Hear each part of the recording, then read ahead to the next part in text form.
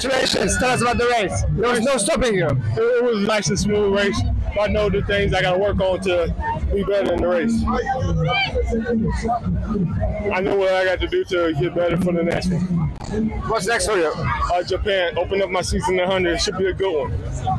Congratulations again and all the best. Thank you. Uh, I mean, from the start, I felt pretty good, but probably the last half, I, I feel like I tightened up. So that's where Fred kind of caught, caught me back. He got me. But um, like I said, execution-wise, I was like 90% good, and just got a few things to work on when I get back home. But yeah, today was a good day. What's next for you?